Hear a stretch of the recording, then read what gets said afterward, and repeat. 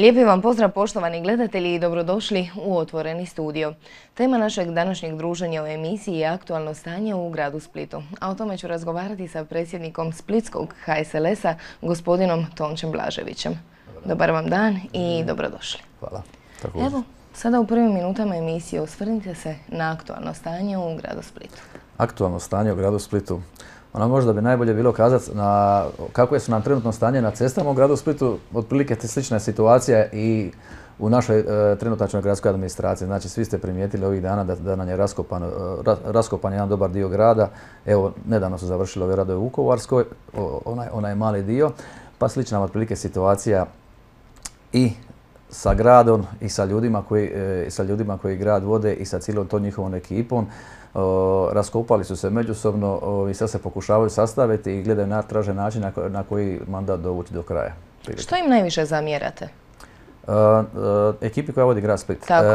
Neambicioznost neambicioznost, e, ovaj cijeli mandat, e, nije to baš tako lako e, kazati, lakše je čovjeku kazati da se nešto konkretno napravilo, da se više napravi, pa nema veze što nisi ista politička opcija, što si opozicija i tako dalje, ali baš neambicioznost. Oni su ima, imam dojno da su preživljavali od sjednice gradskog vijeća do sjednice, odrađivali su stvari koje se treba odraditi, ali nikakav iskorak nije napravljen. Nama je najveći iskorak ispada ovi radovi na turističkoj palači, ja sam kao gradski vijećnik ima tome i godinu i pol dana postavio pitanje gradonačelniku na sjednici, onoj osnovnoj stvari, onoj na koja je bila e, glavna tema uh, prošle predizborne kampanje, to je istočna obala. Onda se postavlja pitanje gradonačelnik što se napravilo, tu je nešto odgovorio, onda sam postavio ono krucijalno pitanje, e, koliko ljudi broji tim kojima radi samo na pripremi projekta istočne obale, on je odgovorio oliko, nula.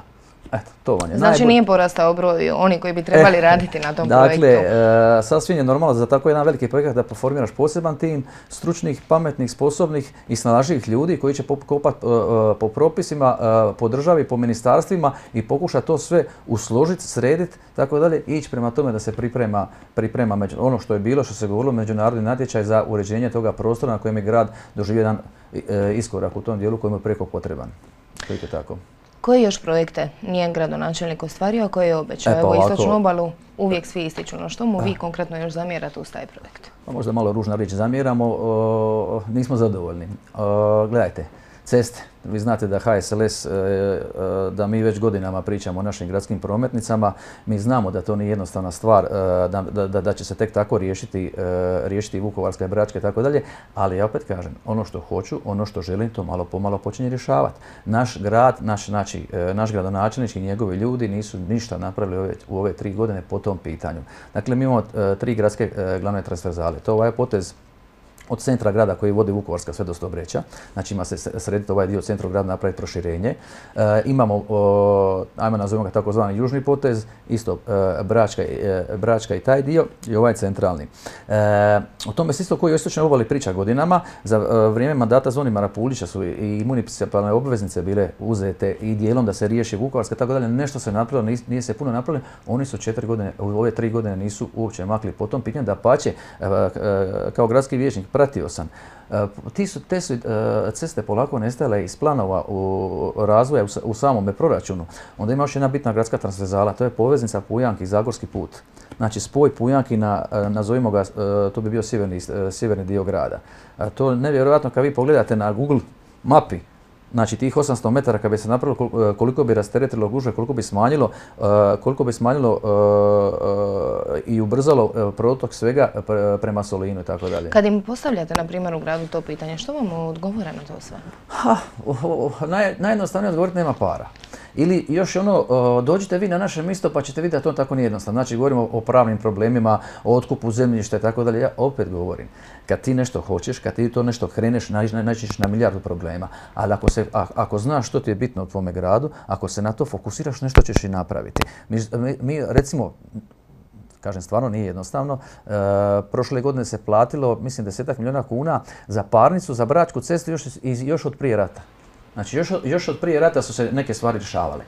Ali e, naša gradska vlast nema fokus na to, ono odgovore jednostavno, e, evo da, da skidemo te e, sa tim pitanjem i tako dalje, ne vidiš želju, nema, nema, nema razumijevanja, ljudi ne razume. Gledajte, Vukovarska cesta, taj potez prema Sobreču kad se, se to napravi, znači od Sitija naprijed, a ti koliko se tu prostora, koliko se tu kvadrata zemljišta otvara.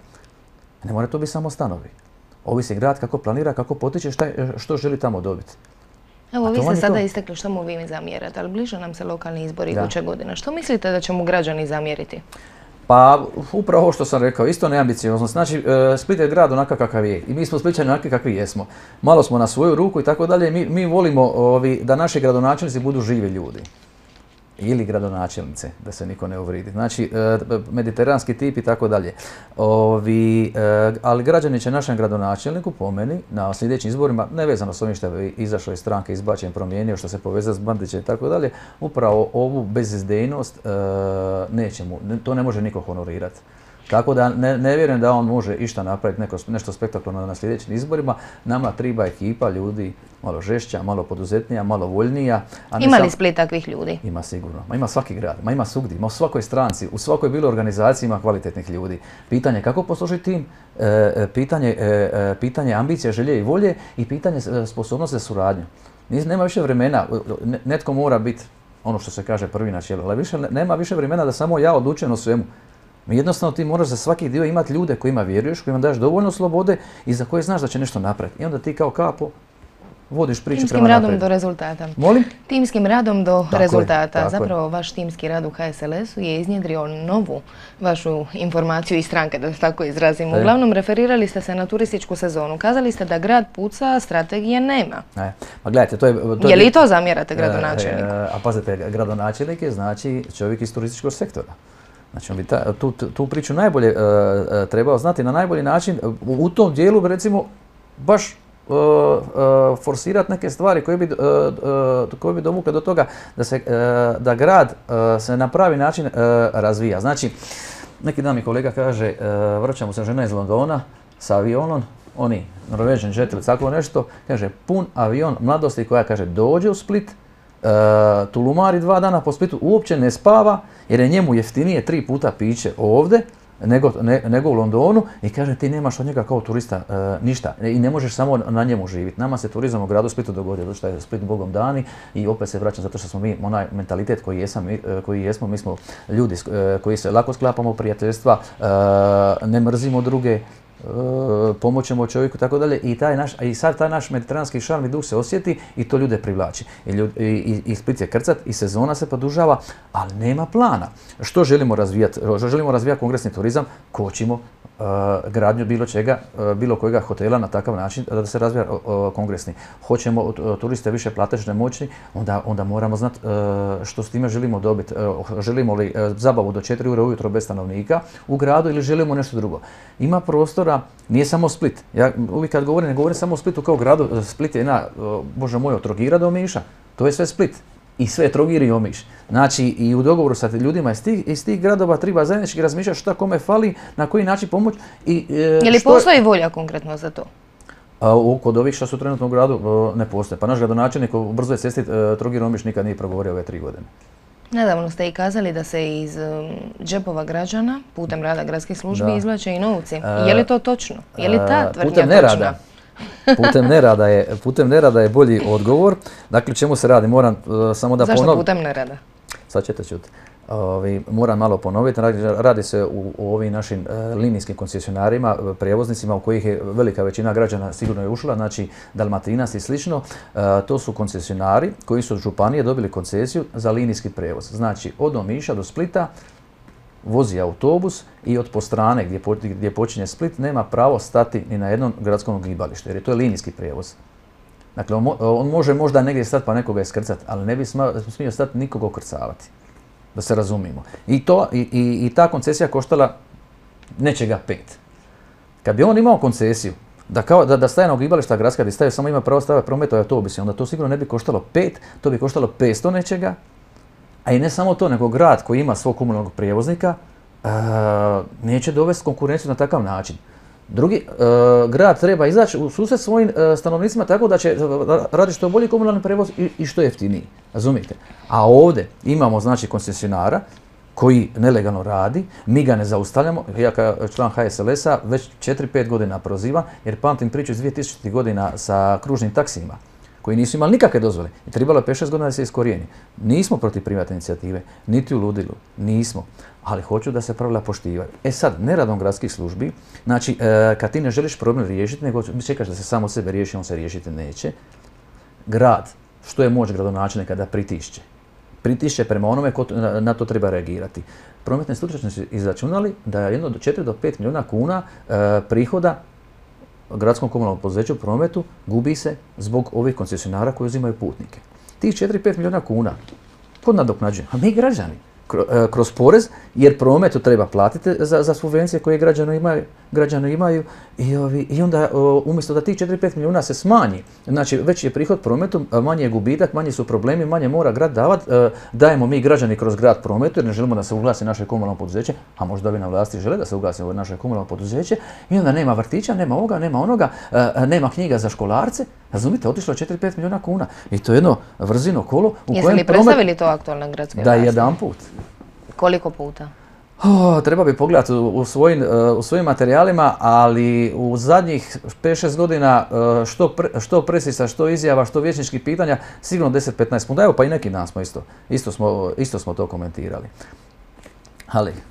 Ništa. ništa. Mislim, e, ljudi, pazite odgovora.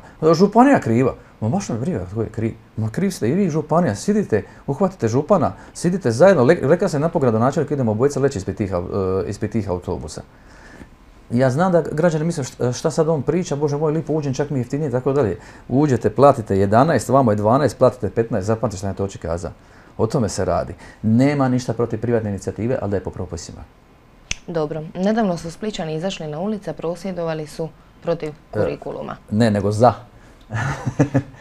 Dakle, e, građani su izašli... E, I prosvjedovali e, su, prosvjedovali su kao, za, kao za podršku kurikularnoj reformi. Tako je, za podršku kurikularnoj reformi.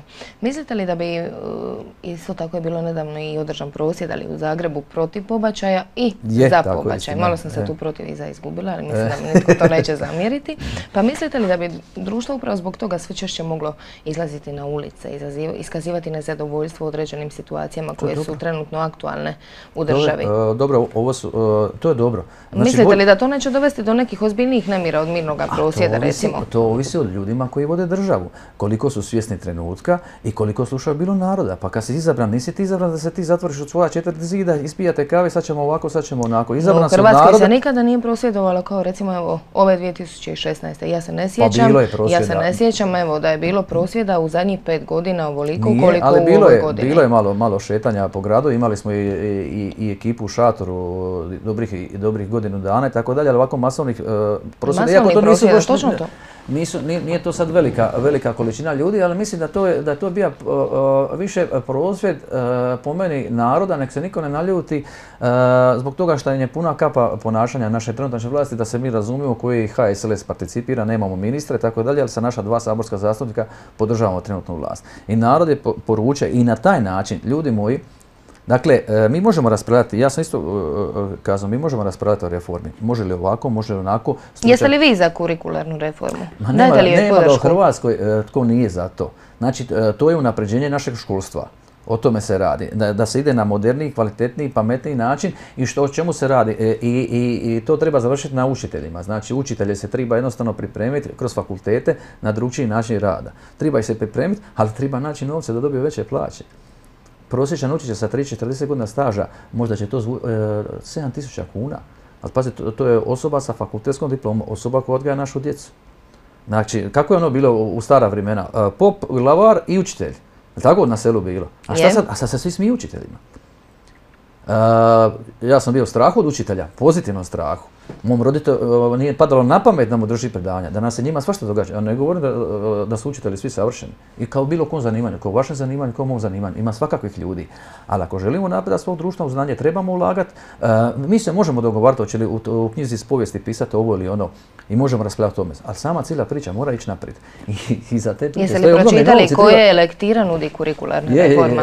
I što kažete na izbor? Evo recimo konkretno za sedmi ili osmi razred, neko od viših razreda. Mislite li da ipak to nije nije pretencijozno za djecu koja pohađaju te razrede. Nisam, ovi, nisam, e, znači vidio sam da se spominju te stvari, tako da je, ostalo, mi, ostalo mi u glavi da se nešto spominje Marulića da, ovaj, e, da, će, ga, e, da će ga maknuti, tako, pa onda se spominju da, da ima dosta eksplicitnih tekstova u nekim knjigama i tako dalje.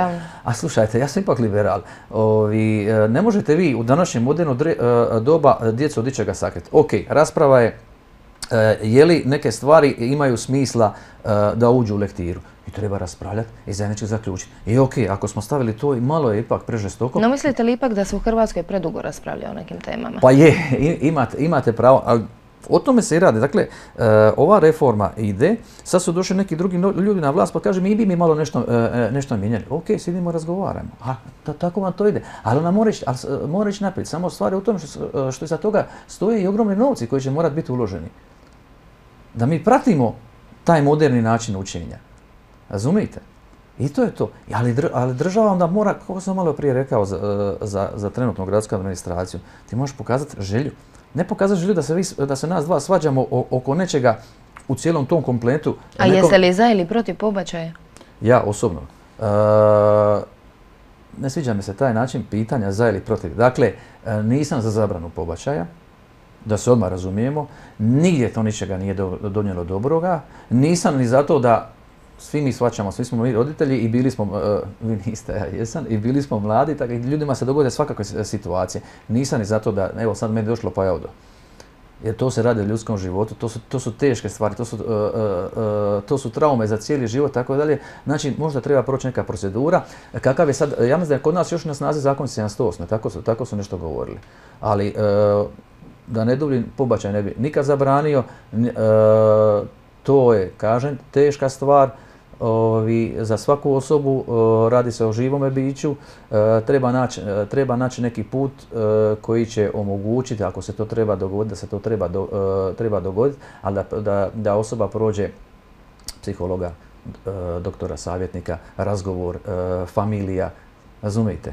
Da ipak nešto, ipak, iako je to odgovoru, na, u odgovoru na prethodno pitanje spomenuli ste gradsku administraciju i to mi je ovako zazvonilo u ušima. E. Zašto mi je to zazvonilo u ušima? Zato što mnogi kažu da kad dođu u Banovinu, u uredu sjedi čovjek na čovjeku. Pa, jutro sam slušao na radio. Koliko Banovina ima sada zaposlenih? Ja mislim preko 500 ja mislim preko 500, jutro sam čuo na radiju da je ovaj, 85 eh, ljudi zaposlio gradonačelnik u ovome mandatu, otišlo nešto ljudi u mirovinu i tako dalje. Nisam to i po gradskim poduzećima.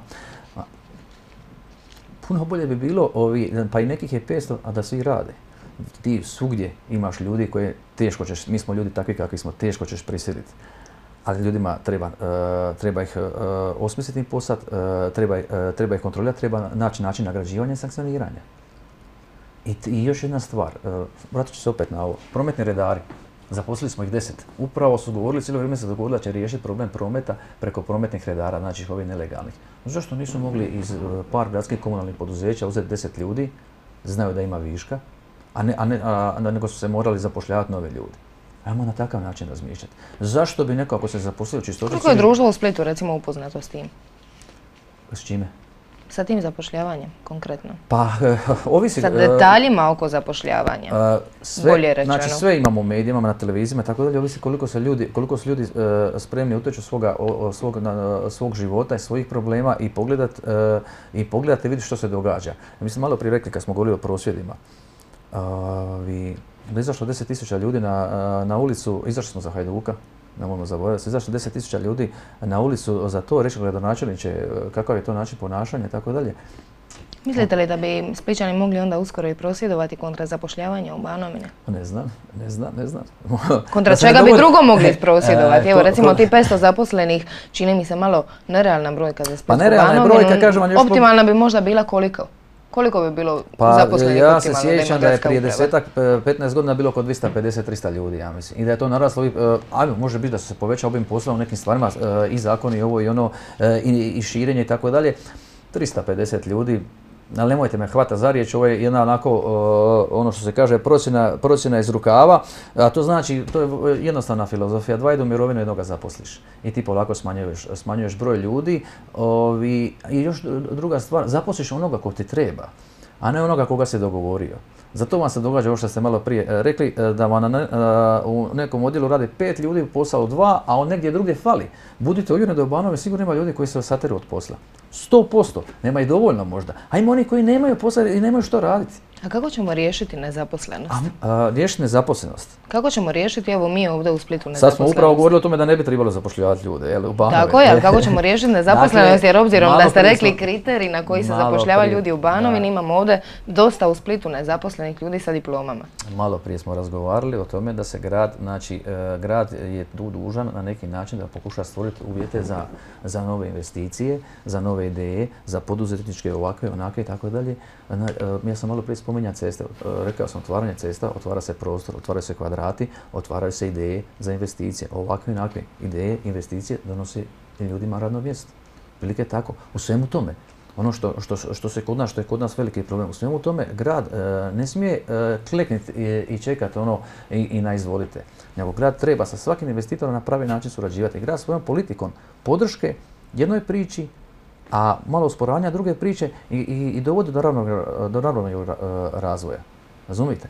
Kažem, sva, sva ta uh, pozitivna atmosfera, uh, ekipa koja je na čelu, za, za koju vidiš uh, da, da pametno planira, da ima ideju, da ima, da ima želju, da ima volju, sve vam to stvara od, jedan put jedno drugčije ozračje, budi nadu i ljudi, i od jedan put se stvari se počnu rješavati mislim da se, da se krivo ne razume, neće sad od nama svani sunce, evo svi će se 20 tisuća ljudi zaposliti nezaposlenih. Ima i koji su nezaposleni koji rade na crno, moram i toga biti svjesna. Vode se na birovu, rade na crno, to je isto problem, ti, ti novci ne završavaju u proračunu, u proračunu grada Splita, ne, ne idu poreze kroz njih i tako dalje i onda manje opet vrzino kolo, e, manje uplate, e, porezi se dižu da bi država se mogla sebe hraniti, a država, sebe, e, država se navikla da bude debelo i toplo, a i država mu trebala stegnuti kajš. Ova vlada je počela pričati o, na neki način da će neke stvari zakočiti i opet i onda kad nešto zakoči što ne treba, kad recimo, malo sam odluta, ali palo mi na pamet, poticaj u poljoprivredi. Dobro. Je li iko uopće, e, na koji način oni kontroliraju e, kako se, kako se to izvršava?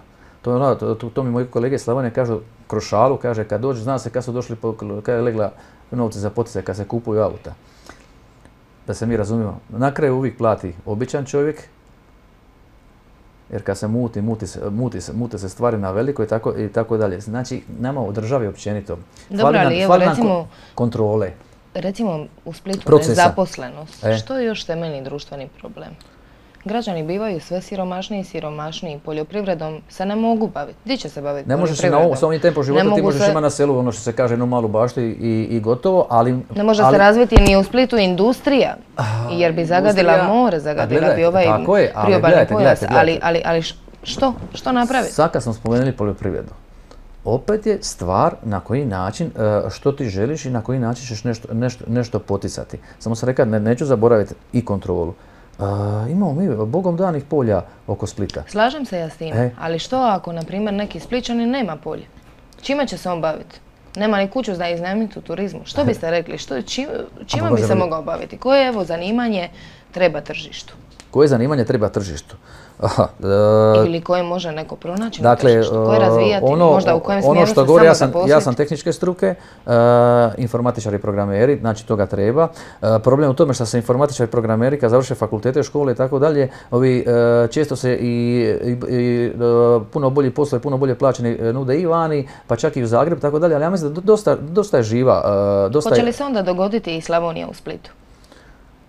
Što pa, ako nalegne turizam, mogla bi.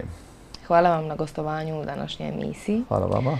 Meni je bilo zadovoljstvo popričati sa vama i do idućeg puta lijepo vas pozdravljam. Hvala i pozdrav svim gledateljima.